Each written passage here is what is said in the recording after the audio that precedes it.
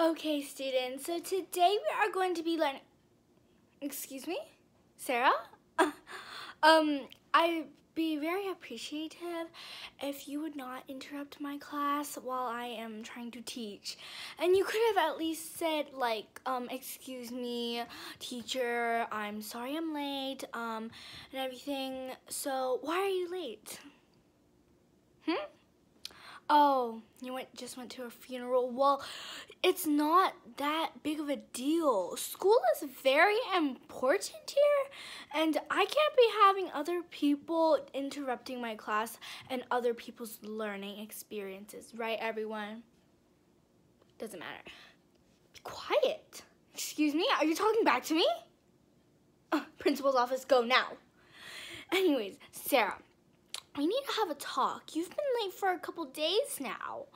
Um, so why is this, why is this, you know, going on? Hmm? Oh, you've been sad your grandmother has died. Yeah, well, I know, like, I'm sorry, girl, but as a teacher, you can't be interrupting so many times in my classroom. One more time, and I'm gonna have to send you to the principal's office, and you might have to get suspended for at least a week, darling. Oh, well, I'm sorry that your mother hasn't been waking you up that early. You should be having an alarm for yourself. I mean, like, I'm sorry, but like, even I have my own alarm. I can do many things my own, and I have three children. So unpack your things and stop interrupting my class, okay? One more time you interrupt my class and there goes everything. You also, you have many pages of homework to catch up on. So here's a whole stack of it for you for now.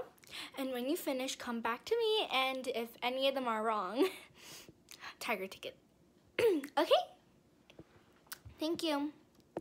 Okay, so everyone, um, I want you all to be looking at the pages I just wanted to talk about. And who's sharpening their pencil? Oh, Sarah! Well, uh, funny it being you that were sharpening your pencil. I was like, if you weren't late, like if you were not late, then you could have sharpened your pencil during homeroom time, okay? And you could not have interrupted me during class while I'm talking. These are rules you should be following. Uh, your parents hmm, must be so disappointed in you by now. I feel so bad for them. Mm.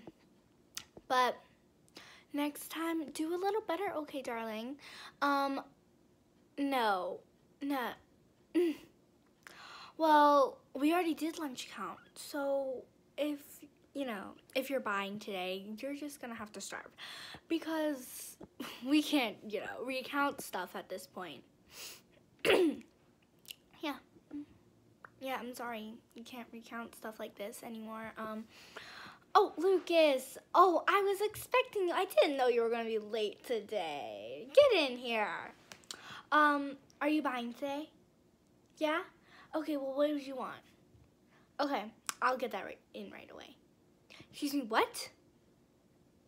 are you saying that I am only nice to boys in this class? No, I'm nice to everyone. Girls, be quiet. I don't want you to hear you. I don't want to hear you talking, okay? Gentlemen over there, have fun at the football game. I heard it's amazing. Excuse me? No. when have I ever done that? Um, but, um, oh, Luke, yeah. Lucas, it's fine. Just give it to me. Oh, yeah, no, you don't have any homework. It's only a couple days. It'll be fine.